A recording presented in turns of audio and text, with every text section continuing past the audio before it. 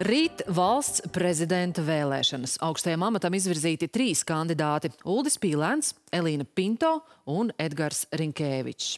Vai valsts prezidents tiks ievēlēts jau rīt un kuram no kandidātiem ir vislielākās izredzes, partiju pārstāvi dienu pirms vēlēšanām konkrēts atbildes nesniedz. Galvenie lēmumi tikšot pieņemti rīt. Plašāk no Saimas nama ziņo Madarlīcīte. Sēmas deputāti par valsts prezidenta ievēlēšanu lems ārkārtas sēdē.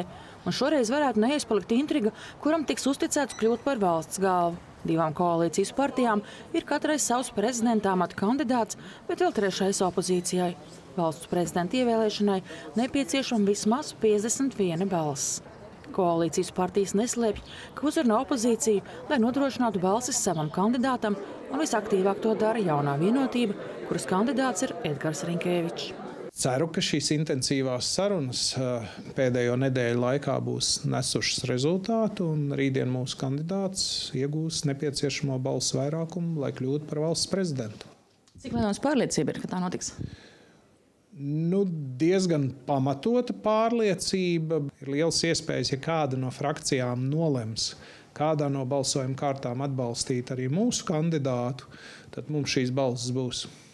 Ar opozīciju par atbalstu Uldim Pīlēnam runā arī apvienotās saraksta pārstāvji. Un vismaz viena no opozīcijas partijām viņu sola atbalstīt. Es tiešām ceru, ka ievēlēs Pīlēnu. Bet eh, šeit daudz kas ir no svara. Uh, Tanī, kāds notiek šis politiskais tirgus, un viņš notiek. Tās partijas, kas droši vien ir izvirzījušas savējos, tad atbalstīs savējos kandidātus, un visām pārējām ir iespēja lemt un izvērtēt. Vismazākās izredzes kļūt par valsts prezidenti varētu būt Elīnai Pinto. Progresīvie, kura viņa virza amatā, neatklāja, kuru kandidātu atbalstīs kā nākamo, ja Pinto izkritīs kādā no kārtām. Pats favorīts ir izzīmējies.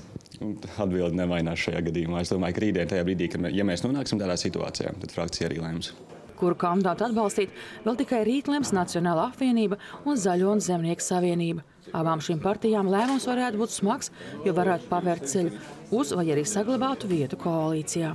Sumēsim visus viedokļus kopā un mēģināsim nonākt līdz eh, vienotam redzējumam. Šobrīd mēs esam nonākuši tādā intrigu un baumu eh, galējā punktā, kas kulmināciju sasniegs rītdien, bet eh, nu, mēs mēģināsim rītdien darīsim visu, lai mēs savu lēmumu pieņemtu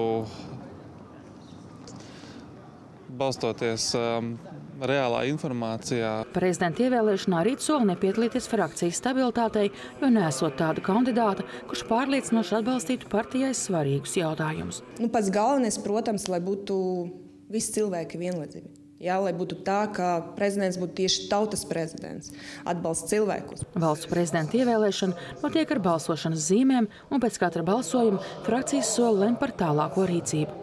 Un iespējams tieši tad iezīmēsies arī aizkulisēs lemtais. Madara Līcītājnis Kupčs, Latvijas televīzija.